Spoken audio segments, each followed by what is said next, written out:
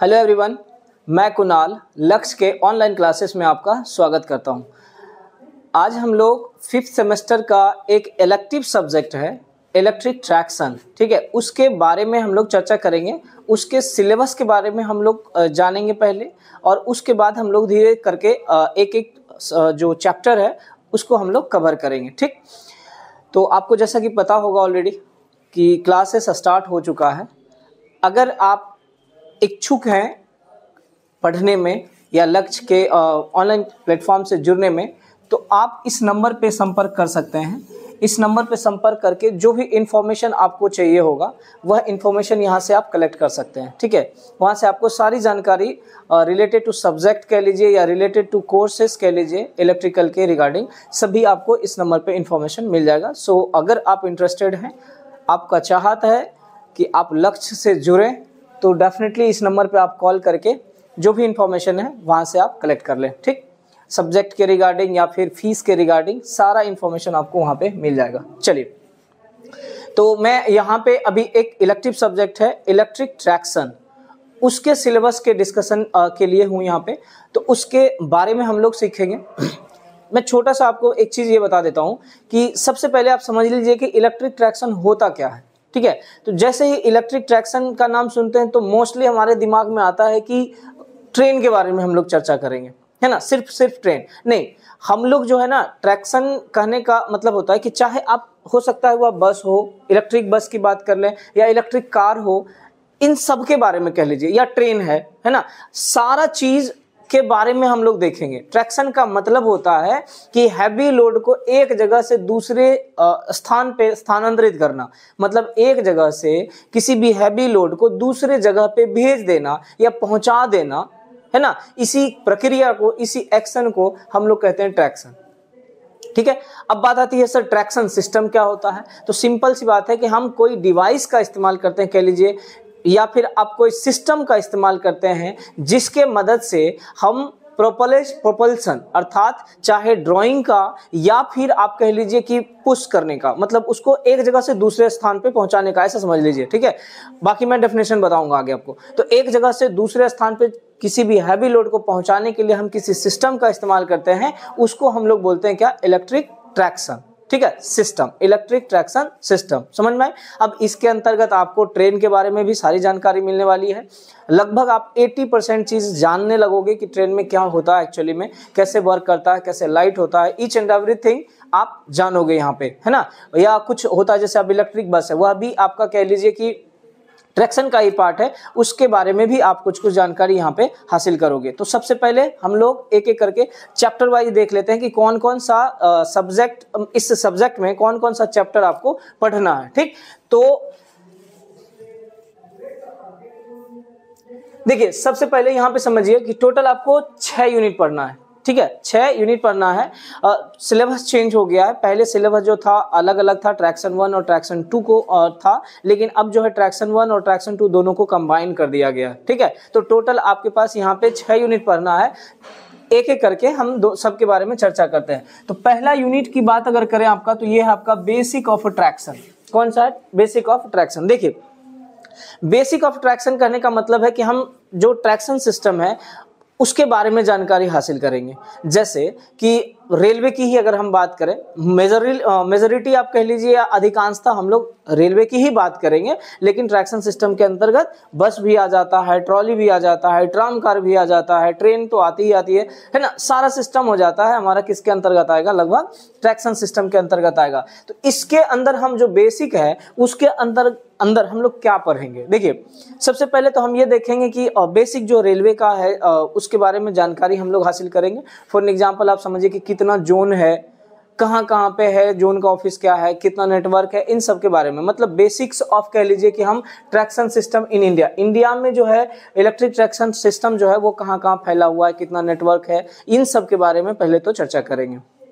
उसके बाद हम लोग पढ़ेंगे जो इलेक्ट्रिक ट्रैक्शन में इंजन यूज़ किया जाता है, वह कौन कौन सा इंजन यूज़ किया जाता है? है ना? अब यहाँ पे देखिए दो प्रकार के इंजन यूज़ किए जाते हैं। जैसे कि हो सकता है वह इलेक्ट्रिफाइड इंजन कह लेते हैं या इलेक्ट्रिक इंजन कहते हैं, या फिर आप कह सकते हैं नॉन इलेक्ट्रिक इंजन तो पहले आप देखे होंगे स्टीम इंजन यूज़ किया जाता था, या फिर उसके बाद जो है धीरे धीरे उसको और मॉडिफाई करके आईसी इंजन का इस्तेमाल किया गया। वो सभी जो होता है नॉन इलेक्ट्रीफाइड इंजन में आता है। लेकिन अभी करंटली बात करें मौजूद, मौजूदा टाइम में तो अभी हम लोग इलेक्ट्रीफाइड इंजन यूज़ करने लगे हैं।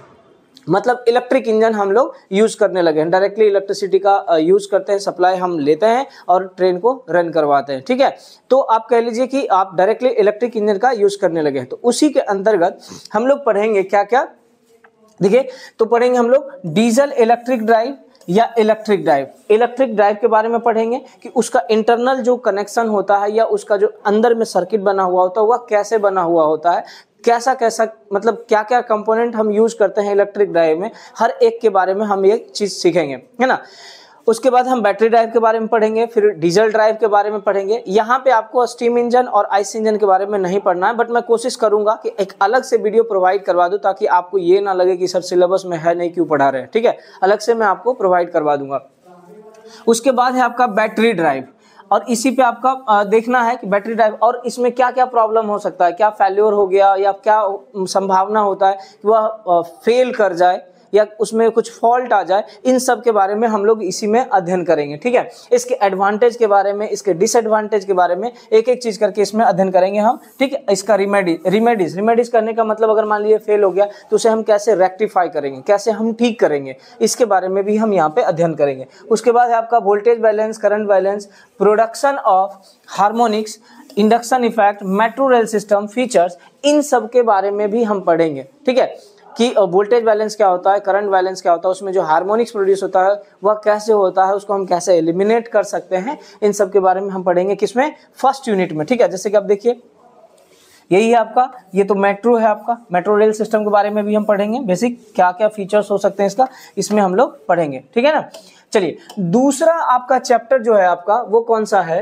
तो ये ध्यान दीजिएगा देख लीजिए, यही है आपका ट्रेन जैसे कि आप ध्यान से अगर देखिए, यहाँ पे हमारा लगा हुआ है, ये देखिए सप्लाई यूज़ किया हुआ है। तो ये आपका है, इन सब के बारे में हम एक एक करके डिस्कस करेंगे राइट अब पेंटोग्राफ से इलेक्ट्रिसिटी करेक्ट किया, और यहाँ से। अब बताइए कि अंदर पता चल रहा है कि कहाँ जा रहा है। तो हम उस सर्किट के बारे में जानकारी हासिल करेंगे कि यहाँ से जो है ये अंदर जो है कैसे वर्क करता है, कहाँ पहुँचा, कैसे जो नीचे मोटर लगा होता है, वहाँ तक सप्लाई पहुँचता है, क्या डायरेक्टली पहुँच जाता है अगर बीच में हम और बहुत सारा स्टेप को फॉलो करते हैं, इन सब के बारे में हम चर्चा करेंगे इस चैप्टर में, ठीक है?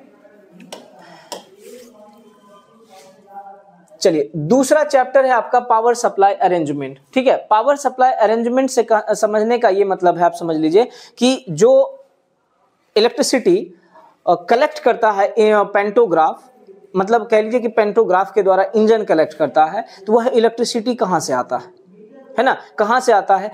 क्या जो सबस्टेशन होता है जो नॉर्मल आप कह लीजिए कि जो पावर ग्रिड का सबस्टेशन होता है उसका अपना होता है रेलवे का क्या अपना सबस्टेशन होता है? इन सब के बारे में हम चर्चा करेंगे ठीक है? जैसे कि रेलवे में भी अपना सबस्टेशन होता है जिसको कि हम बोलते हैं ट्रैक्शन सबस्टेशन है ना? ट्रैक्शन सब स्टेशन या टीएसएस के नाम से वो जाना जाता है। ये खुद के लिए एक सब स्टेशन बनाता है क्योंकि देखिए, यह भी एक प्रकार का तो कंज्यूमर ही हो गया ना।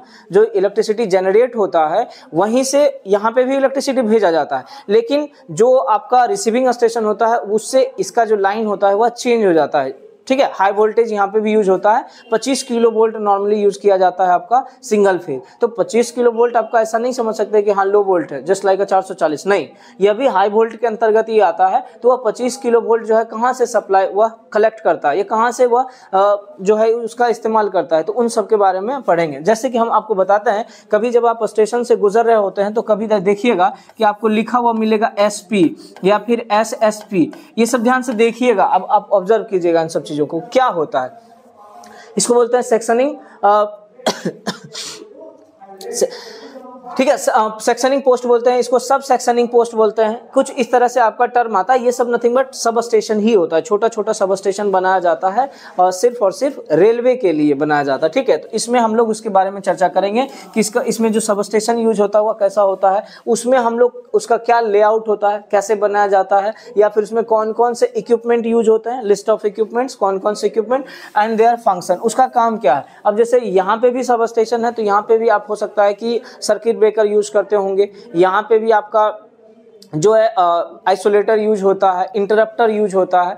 सबका यहाँ पे भी इस्तेमाल है तो वो कैसे वर्क करेगा और कैसे कैसे हम उसको कहाँ कहाँ लगा सकते हैं, उसका लेआउट क्या है, इन सब के बारे में भी देखेंगे। List of equipments and their function उसका फ़ंक्शन क्या है? फिर आता है, देखिए फीडिंग एंड सेक्शनिंग अरेंजमेंट क्या होता है?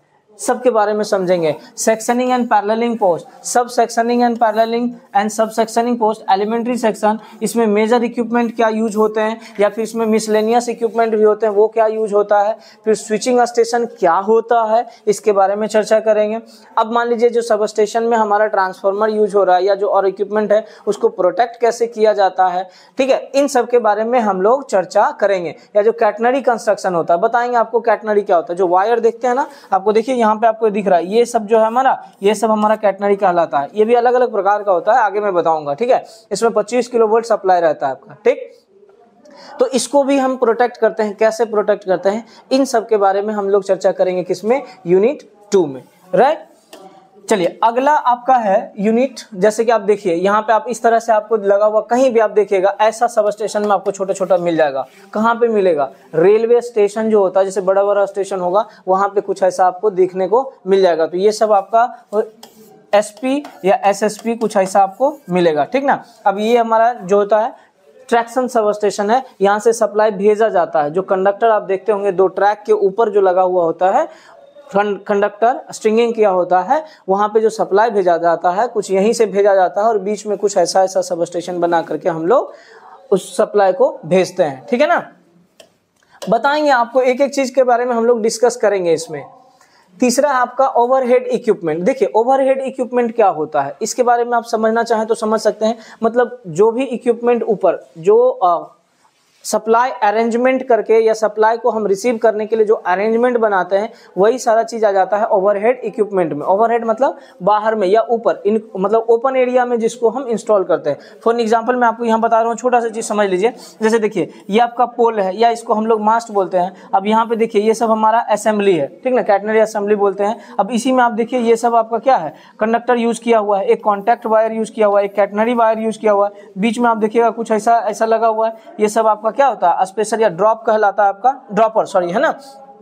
अब इसमें आप इंसुलेटर का भी यूज़ करते हैं। तो कितना इंसुलेटर का यूज़ करते हैं? अब यहाँ पे देखिए, बीच में आपको ट्रांसफार्मर लगा हुआ है, जिसको हम लोग बोलते हैं क्या? बूस्टर ट्रांसफार्मर तो इन सब के बारे में हम अध्ययन करेंगे। यहाँ पे भी आप देख सकते हैं। देखिए, ये पोल का स्ट्रक्चर आपका अलग है। ओवर इक्विपमेंट में ही आएगा। तो एक एक के बारे में आपको बताएँगे आपको। और ध्यान रखिएगा, जब अब आप सफ़र कर रहे होते हैं ना ट्रेन से तो एक बार ऑब्ज़र्व ज़रूर कीजिएगा। जो भी दिखता है, उसको आप इग्नोर मत कीजिएगा। देखिएगा एटलीस्ट उसका स्ट्रक्चर जो है ना माइंड में रखिएगा कि अच्छा ऐसा शेप था ऐसा होता है। तो जब हम लोग यहाँ पे पढ़ रहे होंगे ना तो आपको समझने में बहुत आसान हो जाएगा। ठीक है ना? बाकी मैं आपको बताऊँगा कि कैसा होता है इन सब चीज़ के बारे में तो अध्ययन करेंगे ही हम लोग।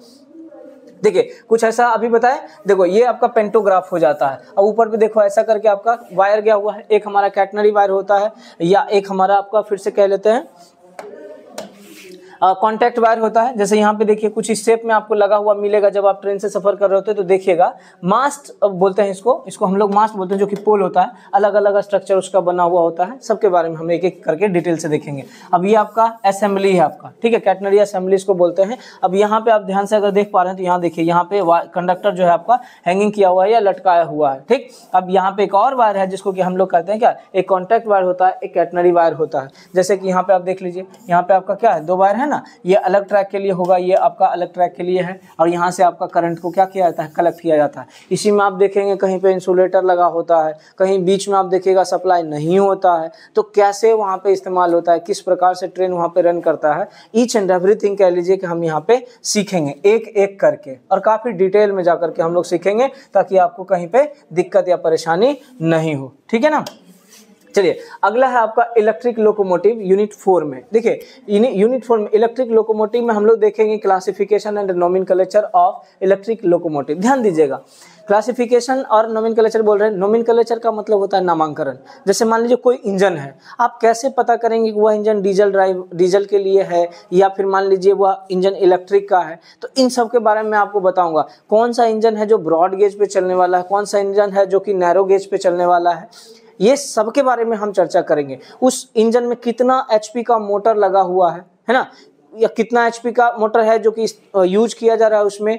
कितना एक्स्ट्रा ऐड किया हुआ है मोटर उसमें? कितना पावर ऐड किया हुआ है? वह मोटर जो है कितने पावर का है? इन सब के बारे में हम यहाँ पे चर्चा करेंगे, ठीक है ना? तो ये है नोमिन और क्लासिफिकेशन भी हम लोग देखेंगे, इसका ब्लॉक डायग्राम भी देखेंगे, इसके इंटरनल जो सर्किट है, उसके बारे में भी हम पढ़ेंगे, उसके बाद कहता है उसका क्या फ़ंक्शन है, इसके बारे में चर्चा करेंगे एक्जुलरी सर्किट ऑफ़ लोकोमोटिव ये भी पढ़ेंगे लोको बोगी देखो ये बहुत बेसिक चीज़ है बोगी आप कहते हो ना बोगी होता है, आप सीधा सीधा जो कोच होता है ना, उसी को आप बोगी बोल देते हो, जैसे कि देखो मैं आपको बता रहा हूँ देखो बोगी मतलब आ, आपका कहने का मतलब है जैसे देखो ये ट्रेन है ना आपका मान लीजिए ये ट्रेन है ऐसा मान लीजिए तो ये बीच से जो होता है इसको आप कह दोगे क्या कह दोगे? बोगी कह देते हो। देखो ऐसा ये जो है आपका ये छोटा छोटा जो टुकड़ा में बटा हुआ होता है उसी को आप बोगी बोलते हो। एक्चुअली में वह बोगी नहीं होता। उसको हम लोग कोच बोलते हैं है ना? उसको हम लोग क्या बोलते हैं? कोच बोलते हैं। बोगी किसको कहते हैं? तो नीचे आपको ध्यान रखिएगा व्हील लगा होता है। जैसे कि देखिए यहाँ पे आप देख सकते हैं यहाँ देखिए, यहाँ पे देखिए दो व्हील आपका लगा हुआ है।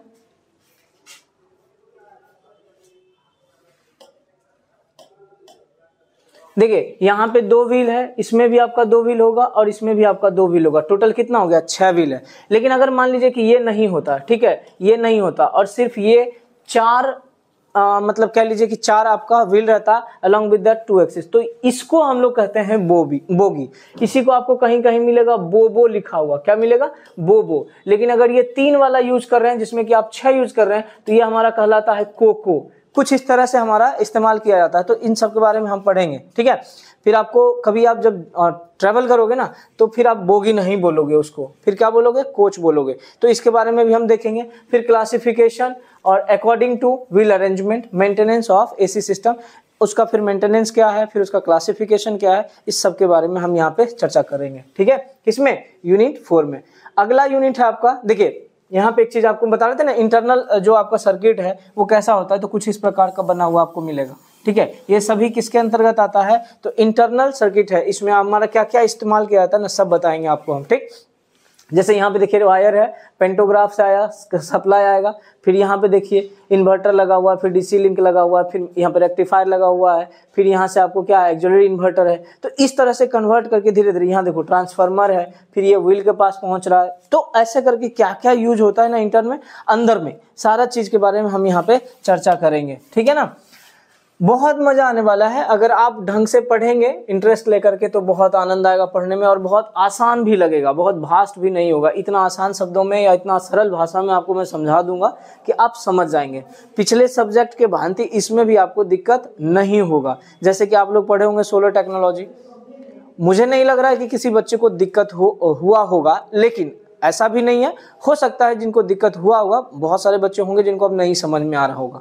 ऐसे भी बच्चे होंगे, लेकिन मोस्टली बच्चे जो हैं समझे होंगे उस चीज़ को, जो कि मैंने आपको बताया है सोलर टेक्नोलॉजी में। और एग्ज़ाम तो अच्छा गया है।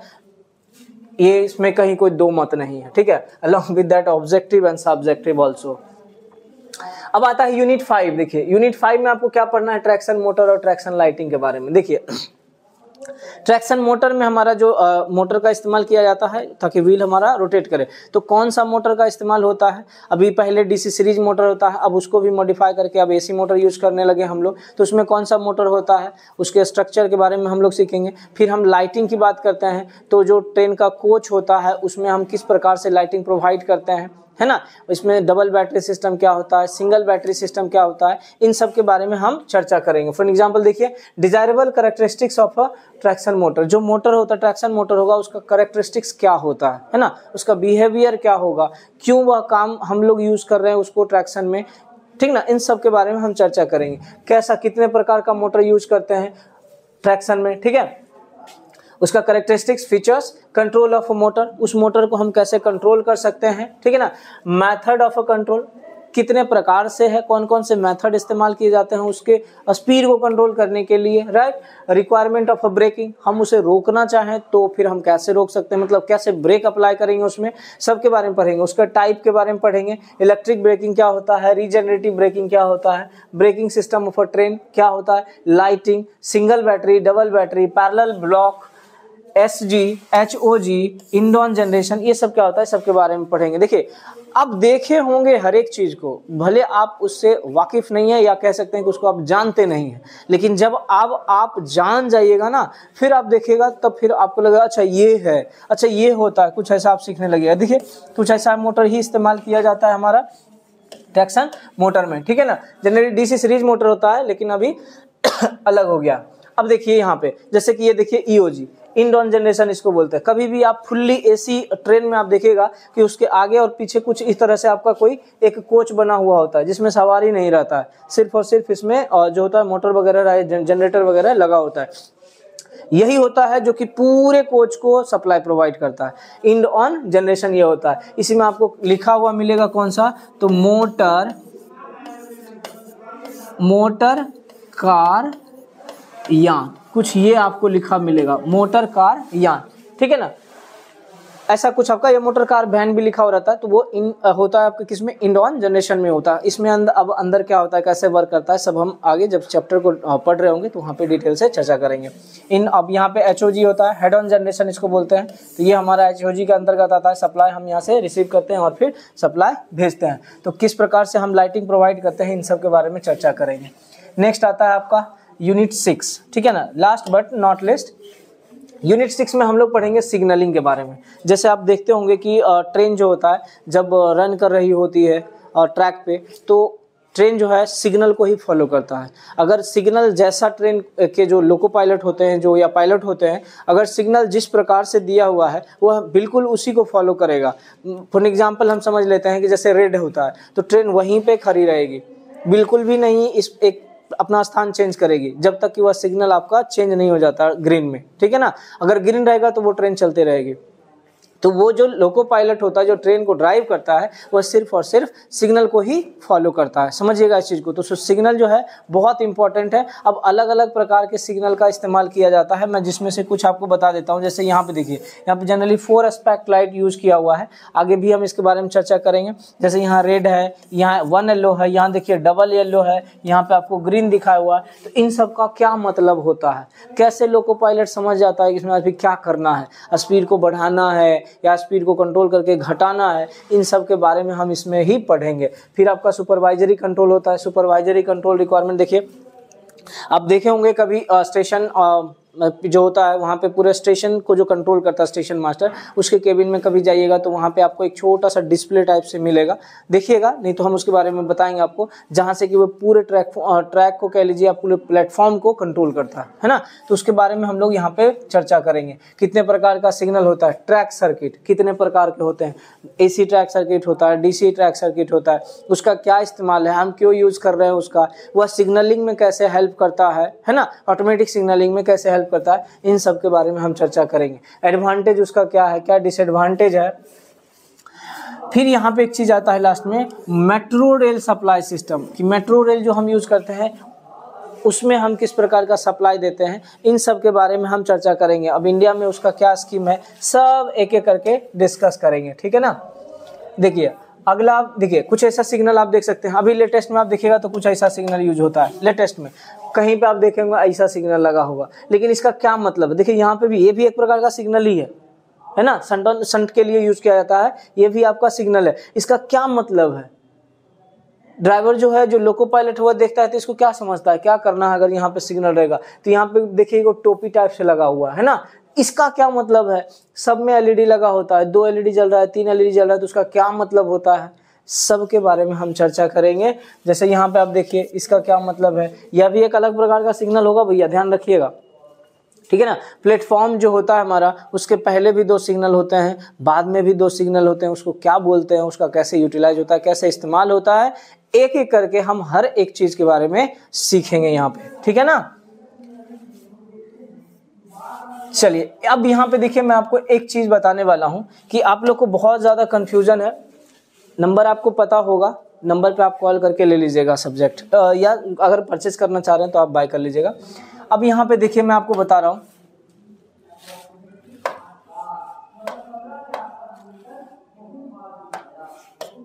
देखिए आपके पास जो टोटल पाँच सब्जेक्ट तो पढ़ना ही है, किसी भी हाल पे तो दो सब्जेक्ट आपका जो है, वो तो आपका फिक्स है, ठीक है ना? एक तो माइक्रो प्रोसेसर है और दूसरा आपका कौन सा है? एनर्जी ऑडिट बहुत कंफ्यूजन है आप लोगों में से एनर्जी ऑडिट ठीक है एनर्जी ऑडिट है। इसके बाद तीन जो है इलेक्टिव है। तीन इलेक्टिव में आपका एक ट्रैक्शन सिस्टम भी है, उसके बाद स्विच गियर प्रोडक्शन है मोस्टली यही चल रहा है, ठीक है? बाकी आप अगर यूटिलाइजेशन भी ले रहे हैं तो कोई दिक्कत नहीं है, आप आराम से लीजिएगा, यहाँ पे आपको उसका भी कोर्सेस मिल जाएगा, ठीक है ना? तो आराम से इसी इलेक्टिव में आपका जो है एसजीपी जो कि स्विच गियर प्रोटेक्शन है, और फोर्थ इलेक्टिव आपका है ट्रैक्शन हालाँकि अलग अलग कॉलेजेज में आप अलग अलग सब्जेक्ट लिए हैं। किसी कॉलेज में इसमें ट्रैक्शन की जगह पे इल्यूमिनेशन लिया हुआ है, कोई दिक्कत नहीं है, वो भी आप पढ़ लीजिएगा। ऐसा नहीं है कि सिर्फ़ ट्रैक्शन ही आप पढ़ सकते हैं। आप स्विच गर्ल प्रोडक्शन लिए हैं, इसी में आपका एक सब्जेक्ट है इस्टीमेटिंग एंड कॉस्टिंग वह भी आपके लिए बहुत इंपॉर्टेंट है। आप अगर चाहें तो वो स्विच जो इस्टीमेटिंग कॉस्टिंग है, उसको भी आप देख सकते हैं और चैनल पे पड़ा होगा। स्टीम एकेडमी जो है, वहाँ पे आपको पूरा का पूरा प्लेलिस्ट बना हुआ है स्टीमेटिंग कॉस्टिंग का। वहाँ से आप देख सकते हैं उसको, ठीक है? तो उसको भी पढ़िएगा। आर आर जेई और एस एस जेई के लिए बहुत इंपॉर्टेंट है। इस्टीमेटिंग एंड कॉस्टिंग एसजीपी तो इम्पोर्टेंट है ही। ट्रैक्शन सिस्टम से आपको कम से कम तीन या चार सवाल आपको मिल जाएगा किसी भी जेई के एग्ज़ाम में, ठीक है ना? मिल जाएगा। बेसिक क्वेश्चन जो होता है, ऐसा नहीं कि बहुत डीप में जाके पूछता है बट बेसिक क्वेश्चन आपको इसमें भी ट्रैक्शन से मिल जाएगा आपको तीन चार क्वेश्चन तो बहुत ही इंपॉर्टेंट कह लीजिए। एग्ज़ाम के पॉइंट ऑफ़ व्यू से भी, और इन फ्यूचर अगर आप जानते हैं कि आप कहीं ज्वाइन करेंगे आर आर जेई में ही अगर जेई बनते हैं, चाहे ए एल पी मौका मिलता है तो अगर आपको ये जानकारी है तो वहाँ पे बहुत आसान होगा आपको सीखने में, है ना? क्योंकि आप ऑलरेडी जानते हैं और वहाँ पे आसानी से आप उसको कवर कर सकते हैं या सीख सकते हैं, ठीक है? तो ये था हमारा और बाकी पांचवा इलेक्टिव जो है, उसमें तो पता नहीं है कहीं ड्रोन टेक्नोलॉजी हुआ है, कहीं पे इंटरनेट ऑफ़ थिंग्स है, कहीं पे एडवांस ऑटोमेशन एंड कंट्रोल है तो जिसके कॉलेज में जो मिला है अपने हिसाब से, उसको आप पढ़िएगा, ठीक है? बाकी जो भी हेल्प हो पाएगा, हम लोग करेंगे, मदद करेंगे, जो भी ज़रूरत पड़ेगा, आप डेफिनेटली बताइएगा। मैं जहाँ तक हो सकेगा उसको कोशिश करूँगा कि आपका जो भी आ, मतलब डाउट है या जो भी समस्या है उसका समाधान किया जाए ठीक है? बाकी कोई फीडबैक हो या फिर किसी भी प्रकार का कोई क्वेरी हो तो कमेंट बॉक्स ओपन है आप कमेंट करके बता सकते हैं ठीक है? धन्यवाद फिर मिलते हैं अगले लेक्चर में।